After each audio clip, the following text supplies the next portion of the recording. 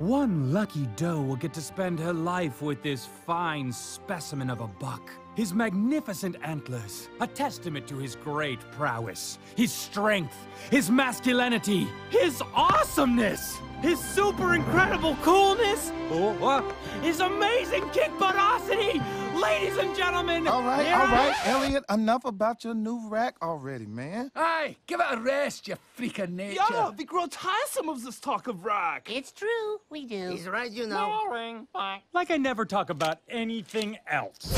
Have you seen my new horns? They're completely natural. All me. Yes! That tree is huge. Like my antlers. Yeah! Yes! Oh, my rack is huge. Yes! Huh? Well, this time I have something big to say. You know, not as big as my antlers. I got you again! Yes! Nailed it! Oh, come on. We got a ceremony to get to. Okay, okay, okay, okay, okay.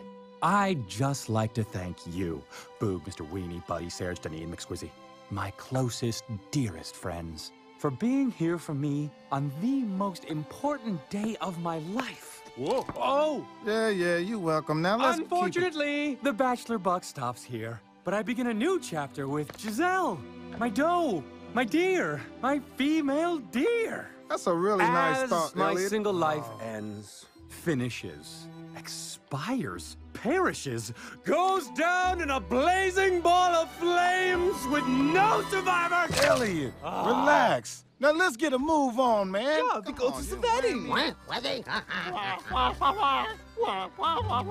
Nuptials. Okay, just one minute. Let's get this over with. Hold on, be right there. Just polish these bad boys. Don't want to scratch them. Huh? Uh-oh. I'm falling. Oh, snap. Oh, that was smooth. Elliot, don't look. Get easy. Island. He's going to blow. Ah.